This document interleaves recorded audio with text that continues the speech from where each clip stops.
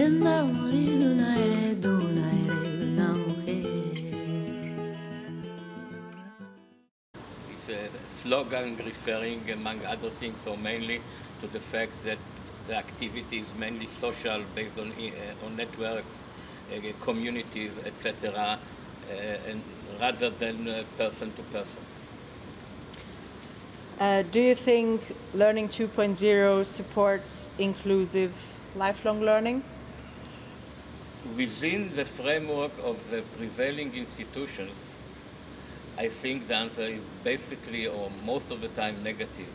Because I think the uh, formal, uh, the, the institution of formal education today, mainly primary and secondary education, to lesser extent higher education, are immune in a way to the impact of the internet.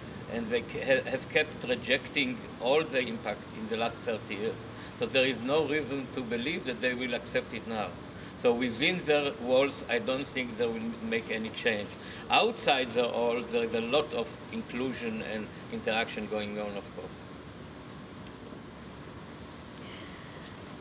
Um, my second question is Do you think isolated experiments in Learning 2.0 can be mainstreamed in education?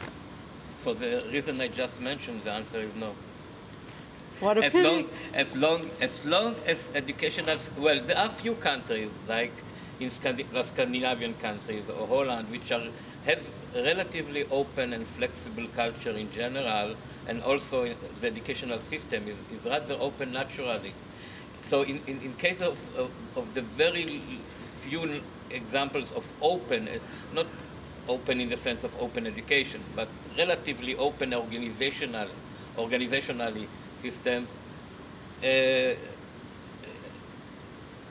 experiments that were been, have been done in a laboratory setting or an artificial setting might have uh, uh, might be integrated. But most other educational systems, including in the big uh, countries like the United States and most European countries, etc., are too rigid to allow it. They are hostile to it.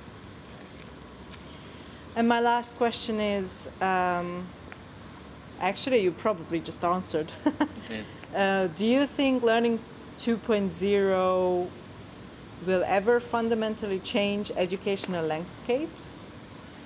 Well, I didn't answer it because if you think in the long term, let's say 10 to 15, 20 years from now, the power of the internet and all the very uh, deep uh, changes, radical changes it brings with it to society, will overcome the, the antagonism of educational system.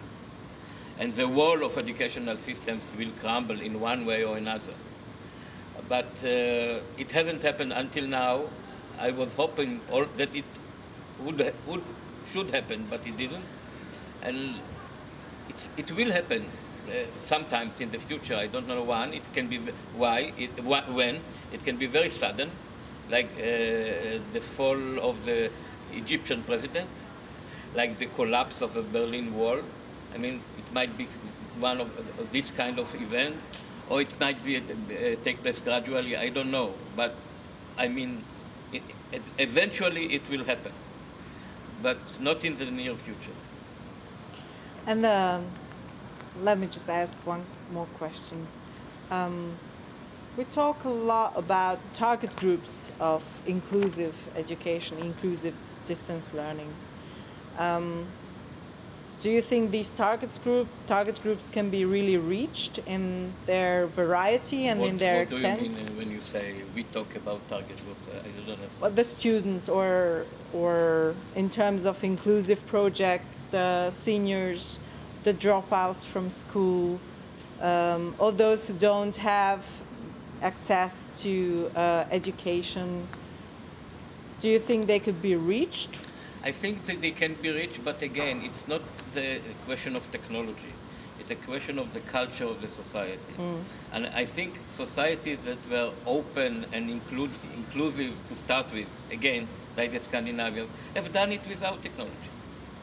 And they will continue to do it maybe better with uh, technology because there are very strong social economic powers at work here. Technology by itself will not change, at least on it, not in the short term.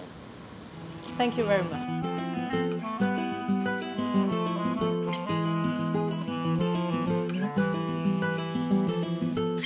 夢守